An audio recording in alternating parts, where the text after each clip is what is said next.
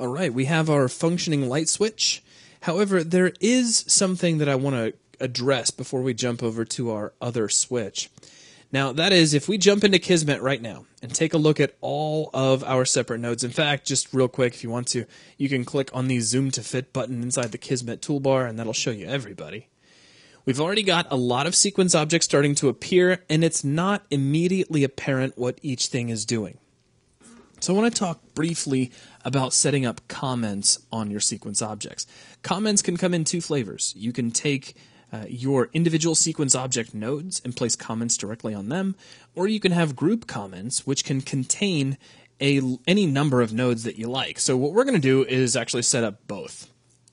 First off, let's let's pick on this little area here where we've got our light switch. What's actually going on in this? First off, the player is using trigger 1 inside the level. Well, let's go ahead and designate that. If we take a look at the properties for this sequence object, down close to, I guess about three quarters of the way down, you'll see object comment. We can click this and type anything we want in here. Player has used light switch trigger. Bink. And there we go. So now we see a nice little comment telling us what's going on. As we zoom out, you'll notice that gets a little small and it can get hard to read, so uh, keep in mind you got to zoom in to see those. Now, the next thing we have our switch. What does this switch actually do? Switches between on and off states for material. Actually, let's just say switch between. Now that's a really long comment, okay? Generally, I don't leave comments that long. I'm only throwing them here just as an example for the, the sake of the video. So let's actually let's pull this down so that things are kind of underneath our comment line. Get everything arranged just so. Now this vector uh, set vector param, this is uh, the material on state. Now I'm going to hit Control C and select that. We'll jump into our second vector param and I'll paste this into the object comment and we'll set this to off state. Now our toggle will toggle the point light. And we could put a comment down here on the actual variable, but I don't think we need to do that. So now, just by glancing at this network, you can see everything has taken place. The player has used the light switch trigger, which has fired off two things. One, it's toggling a point light, and it's going to switch between the on and off states for the material. There's the on state and the off state.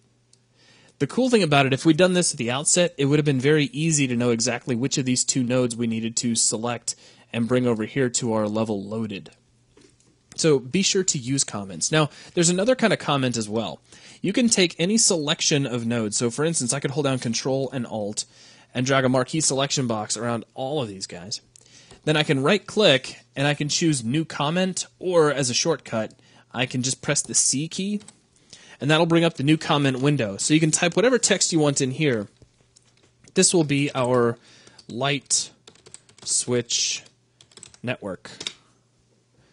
Now check it out. We get a little box that surrounds all these. Now I'm going to position the box just a little bit more strategically so we can just, with the box selected, you can just click on its name to select it. You can hold down control and drag that around like any sequence object. And then using the little black triangle in the lower right corner, I can expand it out. Now it has a couple of cool little settings to it. We can tell it whether or not we want it to draw the box. So if really all you want is just some floating words, you can switch off the box. You can control the border width, so we could crank that up to say 3 pixels if we want that to be a little bit brighter. We can change the fill color. Now this is kind of cool. Now, the light switch was currently attached to a blue uh, object in our level, so let's make this blue. I'm going to take green and, uh, and red, and let's just pull those down to zero. So now this whole thing is blue. It also has an alpha value, which controls how transparent it is. By default, that's set to 16, so you have kind of a faint blue. We can crank that up to, say, 64 and have a much you know darker blue color. And actually, if we're going to do that, let me take the green and push that up to, say, 100 just to get a nice kind of you know, lighter blue color. So there we go. We've got a nice comment which surrounds that. Notice that the name of, or the actual comment that we put on these boxes will resize as we zoom away.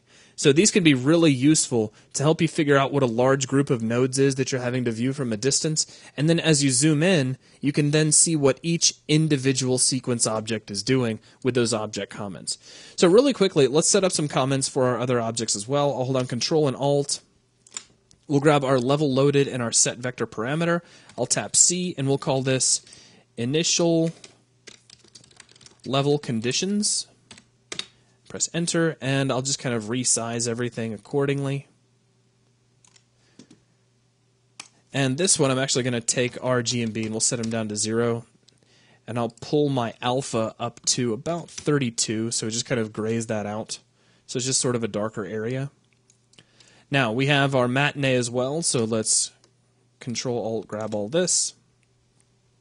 Press C, and this will be um, door network.